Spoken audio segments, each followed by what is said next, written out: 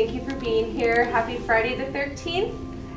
Um, so here to my left is Brad Travis, Earth Balancer. He'll be leading us through a guided meditation. He has crystals for cell and can teach all about metaphysics and geology and stuff. So, but he's here to help lead us in a nice, wonderful guided meditation. I guess we'll just go into the guided meditation. We'll do some yoga and some Pilates. Um, we got I got the Pilates certification also too at UNLV just to help um, with and being able to train dancers and work with the anatomy of the body, you know, and really understand, kind of go there in the avenue. And then we'll get up and we'll dance and we'll have some fun. So first, let's just relax and get the lights dimmed a little bit too. I'll go